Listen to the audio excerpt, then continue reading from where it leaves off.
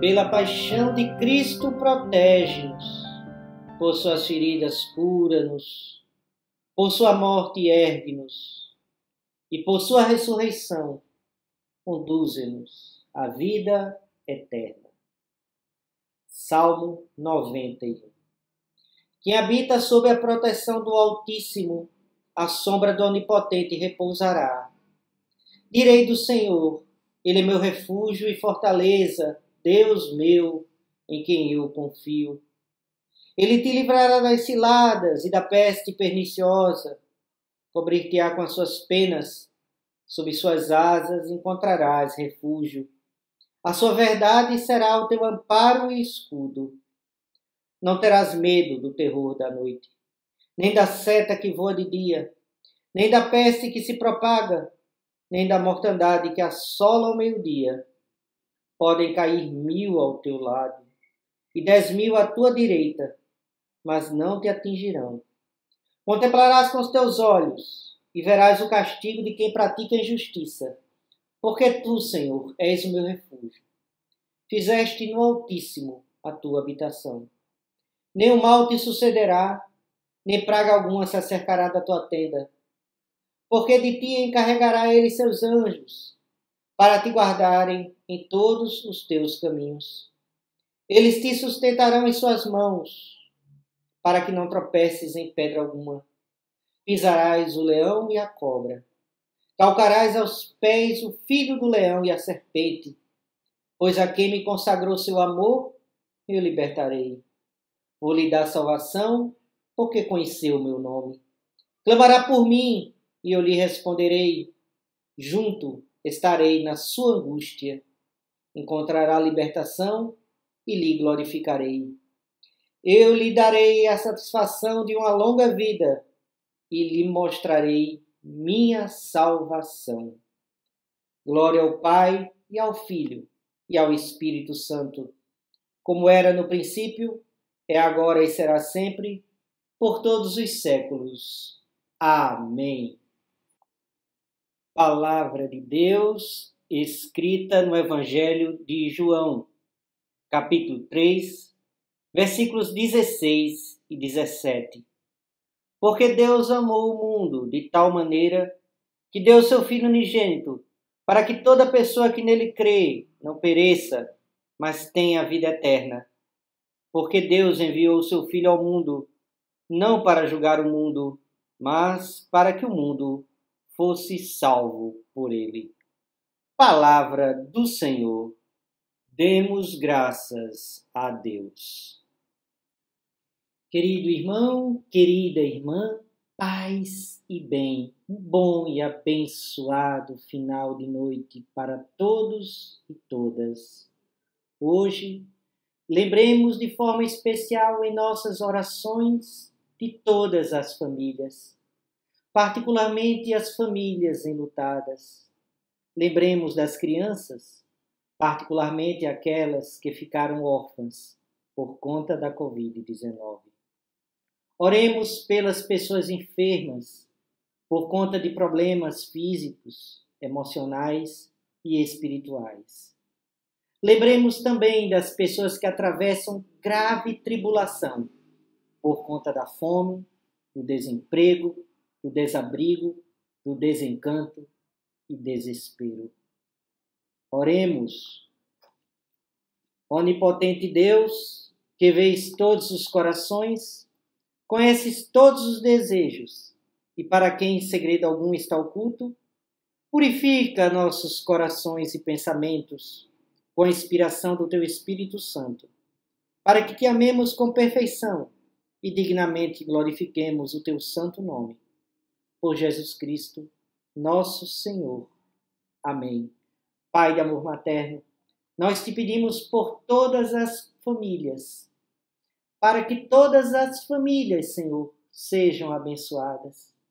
Que todas as famílias sejam lugares de acolhimento, cuidado e carinho.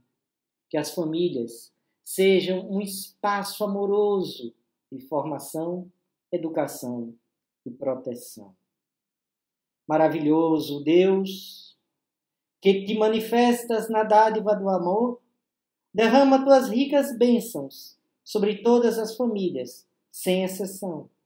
Sejam elas grandes ou pequenas, com ou sem crianças, de um ou mais gêneros, para que aprendamos a enxergar nas pessoas a quem amamos a face do Cristo amoroso, vivendo em harmonia conjuntamente, até que ele venha. Amém.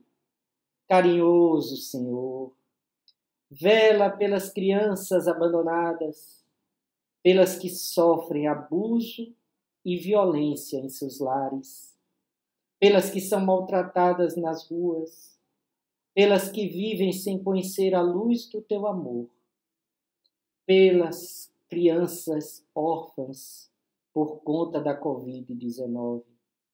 Capacita o teu povo a fim de que lutem pela justiça e trabalhem pela construção de um mundo onde todas as crianças são amadas, nutridas e respeitadas no nome de Jesus.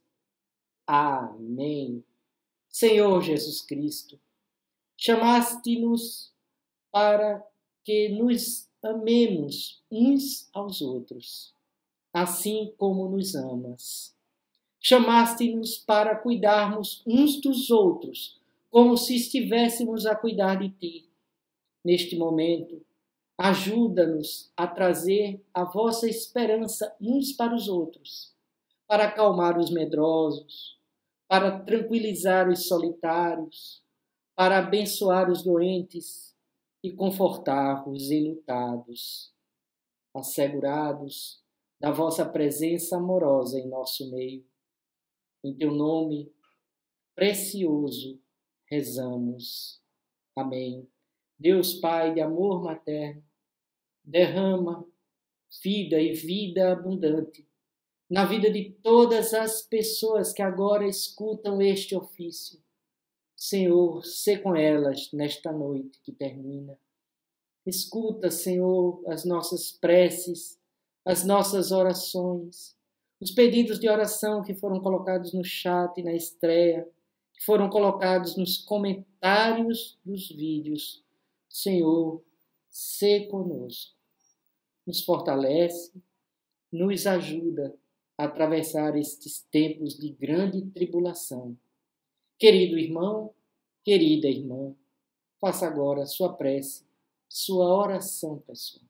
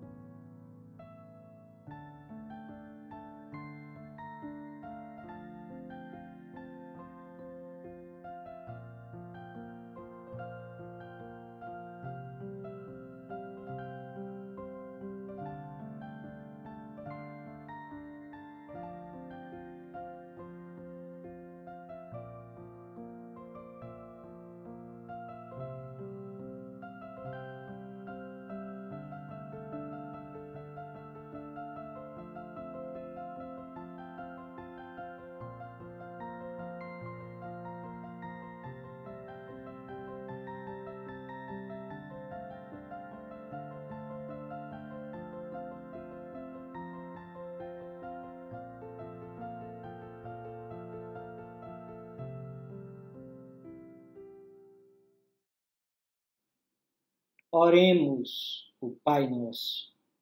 Pai nosso que estais nos céus, santificado seja o teu nome, venha o teu reino, seja feita a tua vontade, assim na terra como no céu. O pão nosso de cada dia nos dá hoje. Perdoa-nos as nossas ofensas, assim como nós perdoamos a quem nos tem ofendido. E não nos deixes cair em tentação, mas livra-nos do mal. Pois teu é o reino, o poder e a glória para sempre. Amém. O Senhor nos abençoe e nos guarde. O Senhor faça resplandecer o seu semblante sobre nós tenha misericórdia de nós. O Senhor sobre nós levante sua face e nos dê a paz, agora e sempre. Amém. Querido irmão, querida irmã, receba a bênção de Deus. Que o amor de Deus nos una, a alegria de Deus nos inspire, A paz de Deus nos envolva, a coragem de Deus nos sustente e a bênção de Deus onipotente, Pai, Filho e Espírito Santo, seja conosco, conosco habite eternamente. Amém.